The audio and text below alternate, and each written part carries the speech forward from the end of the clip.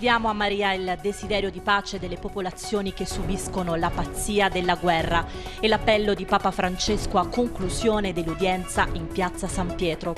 La vita è fondata su un dono originario, la cui essenza è la gratuità dell'amore e la riflessione sul tema dell'aborto scritta da Monsignor Vito Angiuli, vescovo di Ugento, Santa Maria di Leuca. Si è svolto nella chiesa parrocchiale dello Spirito Santo a Cerignola il primo appuntamento del convegno ecclesiale diocesano sul tema della Lumen Gentium cultura, archivi e comunità per il nuovo polo bibliomuseale regionale che sorgerà nell'ex caserma Rossani a Bari. Il progetto si inserisce in un più ampio intervento di riqualificazione urbana. Alla prima edizione del premio Aldo Ciccolini trionfano i giovani talenti dei cinque conservatori di Puglia.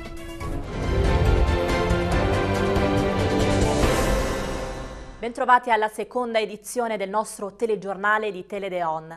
Affidiamo a Maria le sofferenze e il desiderio di pace delle popolazioni che subiscono la pazzia della guerra e l'appello conclusivo di Papa Francesco durante l'udienza di oggi in Piazza San Pietro, ricordando che ottobre è il mese dedicato al Santo Rosario. Ascoltiamo. Mese d'ottobre dedicato al Santo Rosario costituisca un'occasione preziosa per valorizzare questa tradizionale preghiera mariana. Vi esorto tutti a recitare il rosario ogni giorno, abbandonandovi fiducioso nelle mani di Maria. A lei, Madre premurosa, affidiamo le sofferenze e il desiderio di pace delle popolazioni che subiscono la pazzia della guerra particolare la martoriata Ucraina, la Palestina, Israele, il Myanmar, il Sudan. Giunge una triste notizia, è morto ieri all'età di 88 anni Monsignor Guido Todeschini, che nel 1977 fondò l'emittente di ispirazione cattolica Radio Pace, diventata due anni dopo Telepace. Nato a Lavagno, in provincia di Verona, Todeschini era stato ordinato sacerdote nel 1961. La sua è stata una vita legata alla carità e all'evangelizzazione e con Papa Giovanni Paolo II, divenuto poi santo, ha viaggiato in 140 paesi, commentando celebrazioni e appuntamenti legati ai viaggi apostolici. Don Guido Todeschini ha scritto la straordinaria storia di Telepace partendo dalla pastorale con i più piccoli. Le parole del sindaco di Verona, Damiano Tommasi, che ricorda le esperienze vissute con Don Guido che gli hanno dato l'occasione di toccare con mano la straordinaria umanità che possono trasmettere i mezzi di comunicazione. E passiamo alla prossima notizia. La vita è fondata su un dono originario, la cui essenza è la gratuità dell'amore, non la possibilità della scelta. E quanto scrive sull'aborto Monsignor Vito Angiuli, vescovo di Ugento Santa Maria di Leuca. Ascoltiamo insieme le sue parole. Le recenti parole di Papa Francesco sull'aborto hanno toccato un nervo scoperto della sensibilità del nostro tempo e hanno messo in evidenza il profondo cambiamento culturale avvenuto nella società, soprattutto quella occidentale.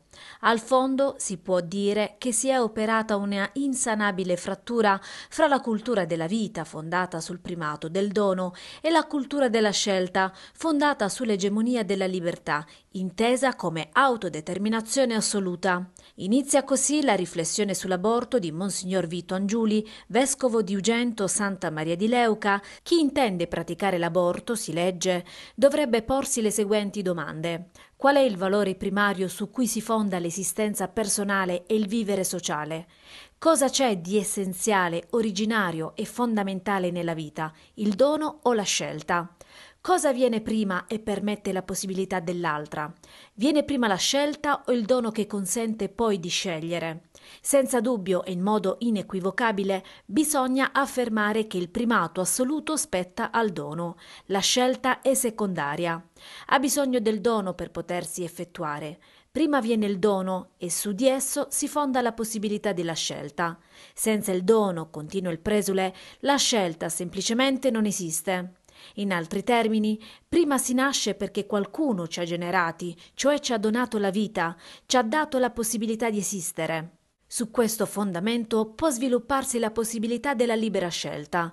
Nessuno si autogenera, nessuno decide o sceglie di venire al mondo. Tutti riceviamo la vita da altri. Essa ci appartiene perché la riceviamo in dono, non perché il frutto di una nostra libera scelta. Pertanto, scrive Monsignor Angiuli, di fronte alla vita che viene concepita e generata nel grembo materno e che dal nulla si affaccia all'esistenza, come di fronte alla vita del piccolissimo essere umano appena concepito, prima viene l'accoglienza, poi tutto il resto. Il Concilio e la Chiesa, testo della Lumen Gentium, è il documento al centro del primo appuntamento del convegno ecclesiale diocesano, in programma fino al prossimo 10 ottobre, nella chiesa parrocchiale dello Spirito Santo a Cerignola. Ieri l'ha seguito per noi Damiana Dorotea Scaramella. Vediamo. Il Concilio e la Chiesa, testo della Lumen Gentium e le linee pastorali per l'anno 2024-2025 è il tema di approfondimento scelto per l'apertura del convegno ecclesiale diocesano che ha preso il via l'8 ottobre nella chiesa parrocchiale dello Spirito Santo a Cerignola e si svolgerà sino al prossimo 10 ottobre.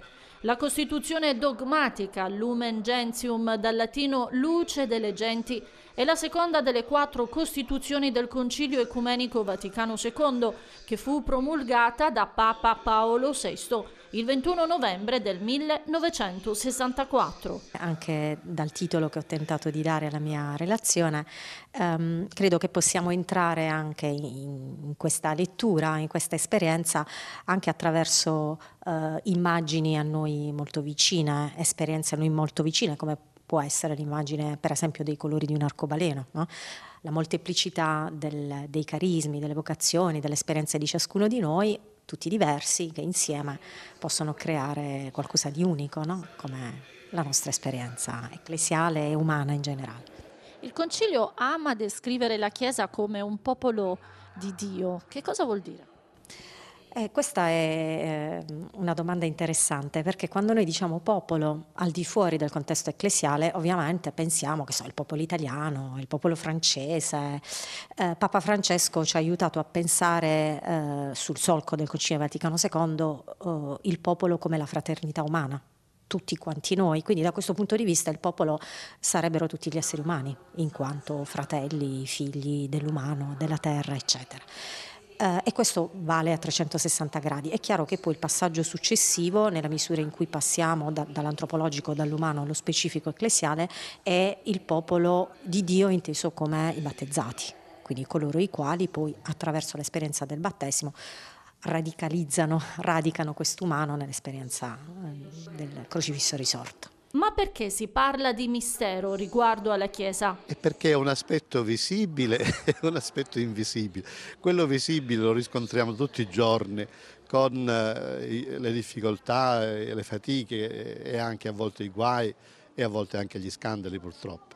Poi c'è una realtà invisibile, quella su cui ha messo la garanzia Gesù e su quella facciamo leva per sollevare anche l'altra. C'è bisogno proprio di recuperare quei grandi insegnamenti del Vaticano II che rimangono una traccia fondamentale per la Chiesa nel nostro tempo. E voltiamo pagina, nei giorni scorsi durante la Fiera del Levante di Bari si è svolto un convegno per fare il punto della situazione sulle Holico offshore in Puglia, sulle esperienze sul territorio e sulla pianificazione dello spazio marittimo. I dettagli nel prossimo servizio. Tavolo di confronto e studio le prospettive di sviluppo dell'eolico offshore in Puglia. A Bari, in Fiera del Levante, la prima conferenza e laboratorio regionale del progetto Beyond nell'ambito del progetto Interreg Italia-Croazia una grande opportunità sotto il profilo ambientale, ma anche occupazionale. A sottolineare questo aspetto da non sottovalutare, in apertura del meeting il capo di gabinetto della Regione Puglia, il professor Giuseppe Catalano. Bisogna scegliere eh, la localizzazione a mare coerentemente e anzi direi in stretto collegamento con la localizzazione della produzione a terra dove si richiedono spazi particolarmente ampi per le politiche industriali che possono anche dare un grande obiettivo su, sul tema dell'occupazione e sull'utilizzo efficace delle strutture portuali. La dimensione dei flotter e delle pale non consente, come in altri casi, di importarle dall'estero o dal lontano oriente. La produzione, l'assemblaggio e il varo delle piattaforme deve avvenire sul territorio in cui vengono poi localizzate. Le opportunità dell'eolico offshore in questo momento riguardano gli investimenti che gli operatori intendono affrontare, chiarisce il dottor Donato Liguori del Ministero dei Trasporti. Sui tavoli 36 istanze e il nostro compito è quello di velocizzare le procedure affinché queste opportunità poi divengano realtà. I risultati di questa sfida si vedranno nei prossimi 12-18 mesi, ha poi proseguito il professor Catalano. Come sempre bisogna coniugare nelle scelte politiche e strategiche l'insieme degli interessi pubblici. Ovviamente c'è un interesse pubblico forte alla decarbonizzazione, in particolare nell'area di Taranto nell'obiettivo di decarbonizzare l'acciaieria, e anche diciamo, gli interessi della pesca, del trasporto marittimo e dell'ambiente sono interessi pubblici primari che vanno contemperati con equilibrio e con intelligenza. E ottobre è il mese del benessere psicologico. In Puglia sono tante le iniziative organizzate dall'ordine regionale degli psicologi che però denuncia che c'è ancora molto da fare per aiutare chi è in difficoltà. Ascoltiamo insieme l'appello promuovere l'importanza della salute psichica, aiutare chi convive con il disagio psicologico a non sentirsi solo e a chiedere aiuto. E per farlo ottobre è il mese giusto perché è interamente dedicato al benessere psicologico. In Puglia sono tante le iniziative messe in cantiere dall'Ordine regionale degli psicologi, incontri e dibattiti utili a diffondere informazioni, perché in Puglia, come in tutta Italia, la percentuale di chi soffre di problematiche che ledono la tranquillità tranquillità delle giornate aumenta. Secondo un recente studio condotto da AXA, una persona su tre ha problemi di salute psicologica. Il 39% dei giovani di età compresa tra i 18 e i 24 anni vive in condizioni di fragilità. L'Osservatorio Sanità e Unisalute spiegano che il 27% degli italiani soffre di ansia e il 32% di tensione e nervosismo, percentuali che salgono rispettivamente al 34 e al 40% tra i giovani con meno di 30 anni. Negli ultimi tempi la figura dello psicologo ha assunto centralità, spiega il commissario straordinario degli psicologi pugliesi Giuseppe Luigi Palma. Gli psicologi evidenziano che le agenzie nazionali e internazionali indicano la necessità di attivare una rete in grado di promuovere il benessere psicologico, fare prevenzione e intercettare precocemente le forme di disagio, potenziando i servizi territoriali. E la Puglia poteva essere capofila in Italia se solo avesse attuato le norme approvate da decenni, continua Palma, ricordando la legge regionale del 28 dicembre 94 che prevede l'attivazione in ogni distretto sociosanitario di un'unità operativa di assistenza psicologica territoriale, che però non è stata applicata, visto che su 40 distretti, riferisce, risulta che non ve ne sia neanche uno attivo. Per Palma non servono nuove norme, ma solo la volontà di dare attuazione a quelle già esistenti. E restiamo sul tema della salute. Partita la campagna Freccia Rosa 2024, la prevenzione oncologica viaggia in treno. Per tutto il mese di ottobre i viaggiatori a bordo dei treni Frecce, regionali e intercity potranno usufruire gratuitamente di un servizio di consulenza sulla prevenzione oncologica. I dettagli nel prossimo servizio. Riparte il treno della prevenzione oncologica con Freccia Rosa 2024, l'iniziativa promossa da Fondazione Incontradonna e dal gruppo Ferrovie dello Stato italiane è giunta alla quattordicesima edizione. Chi sale a bordo dei treni Frecce regionali e intercity potrà ricevere per tutto il mese di ottobre, dal lunedì al venerdì, una consulenza gratuita sulla prevenzione oncologica dai medici messi a disposizione dall'Associazione Italiana di Oncologia Medica ad alimentare, per così dire, il treno Freccia Rosa, la promozione della prevenzione primaria, i corretti stili di vita e incentivare l'adesione allo screening mammografico, il PAP test e la ricerca del sangue occulto nelle feci.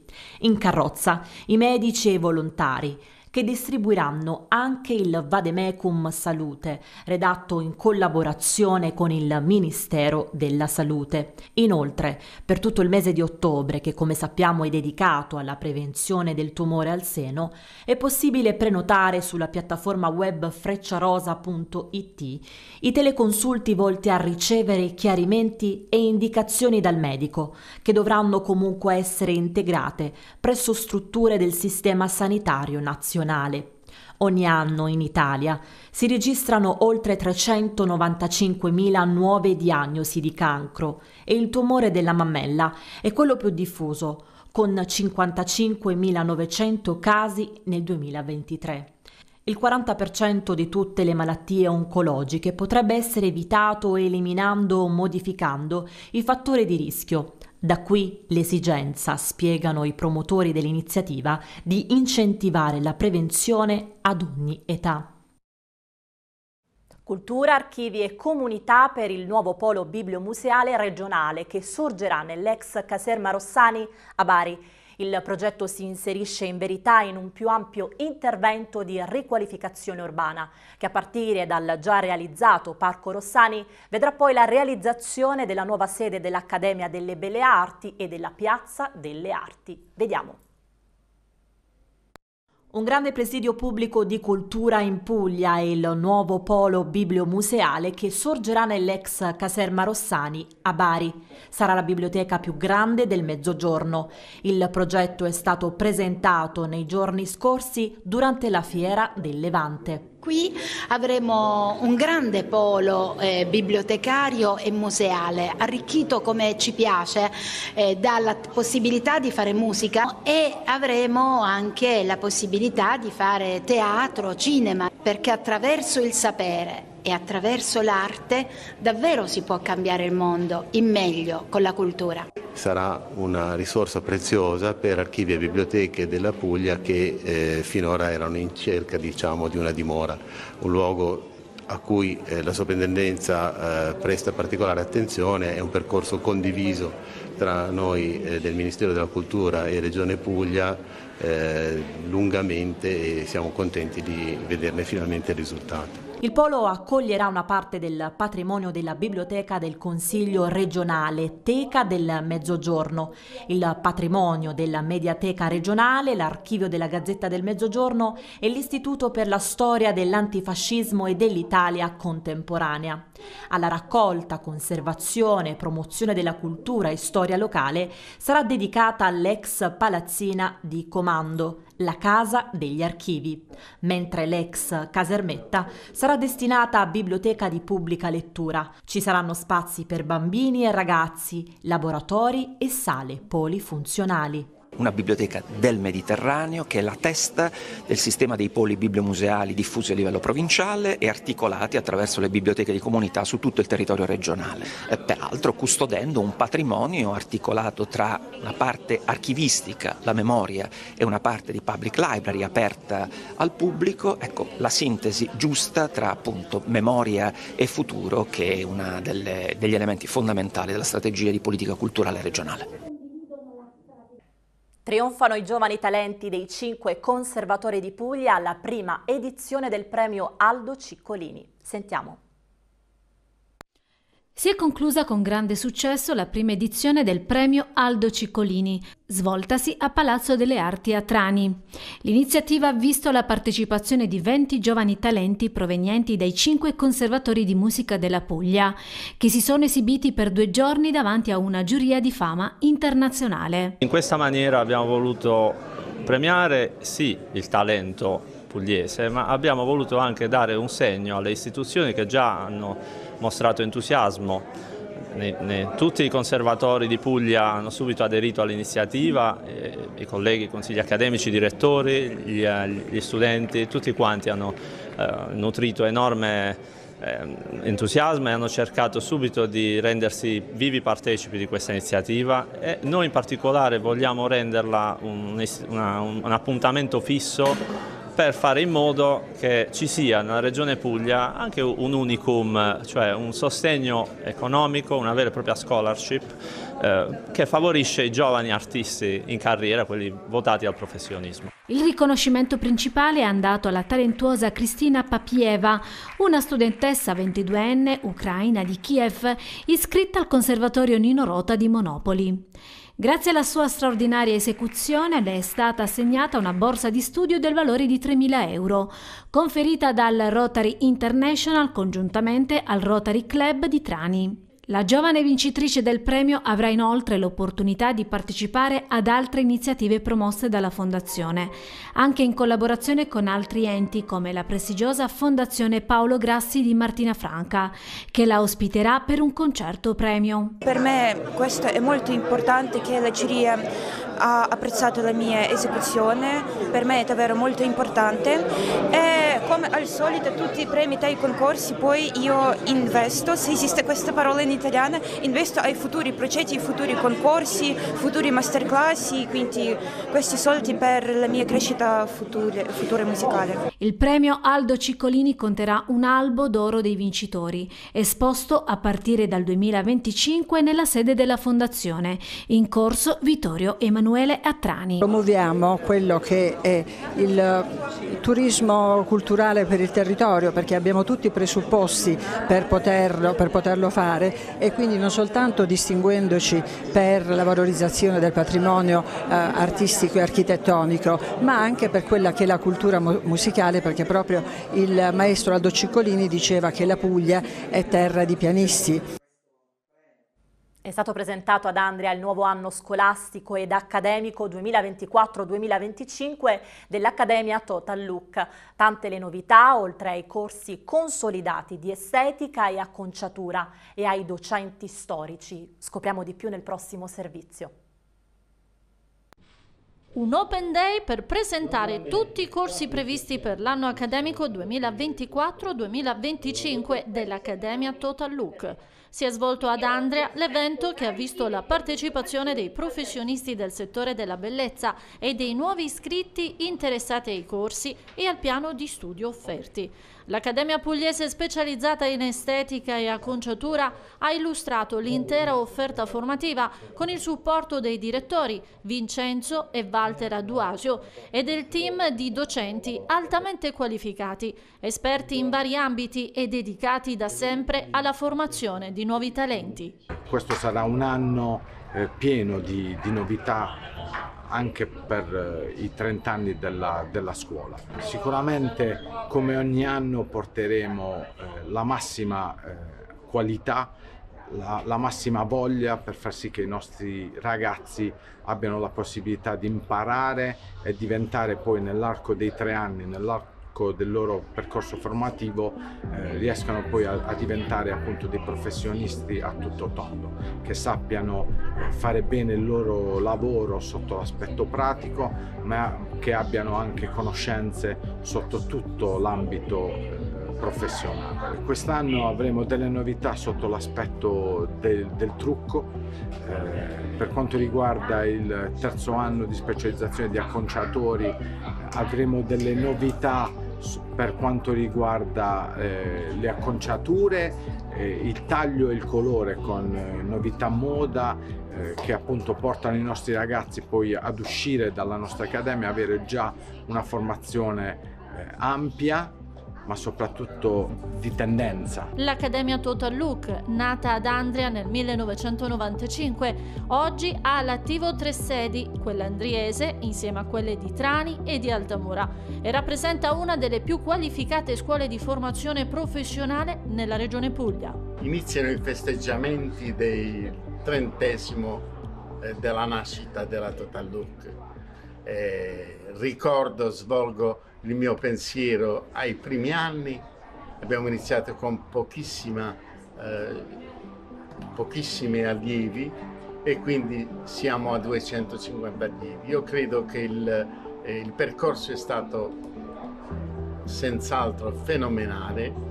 Abbiamo dato, molto, molto importante, abbiamo dato lavoro a più di 3.500 persone che eh, continua ci ringrazia in continuazione perché è stata eh, la base per il successo di queste persone. Diamo spazio a nuove figure professionali per dare sempre un tocco di novità a quello che è il nostro know-how. Ed è tutto per questa seconda edizione, noi vi ringraziamo per averci seguito e vi auguriamo una buona serata in compagnia dei nostri programmi televisivi.